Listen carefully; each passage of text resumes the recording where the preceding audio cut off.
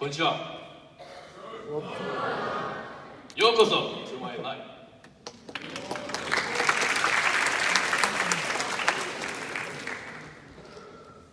Message from Kaneko Hiro Hai, saya Hiro dari kelas 25 Mohon bantuannya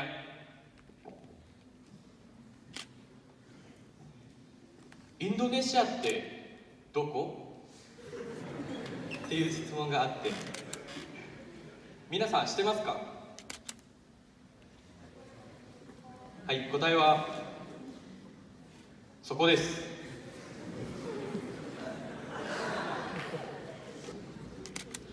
そうですね。インドネシアの学校では遅刻し遅刻したらこう罰金払います。50円からです。2回遅刻したらその2倍です。100円となります。3回遅刻したら150円です。4回目で200円です。インドネシアでは夏休みはないです。毎日夏なので夏休みはないです。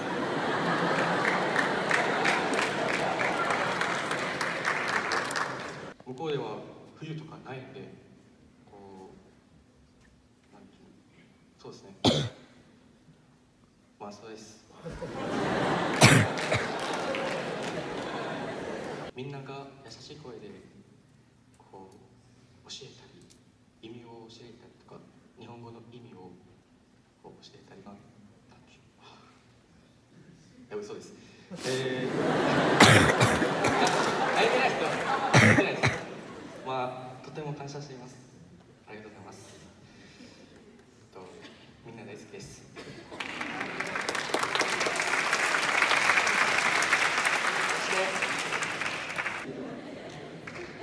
インスタとか SNS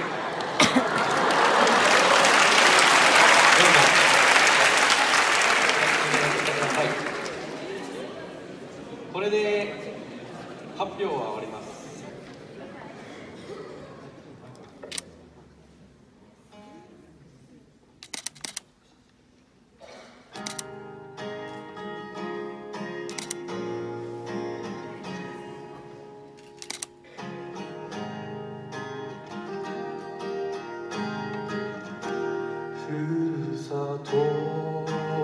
忘れないよ嘘でした。いやそれはなんていうのかな。礼ですね。礼本番です。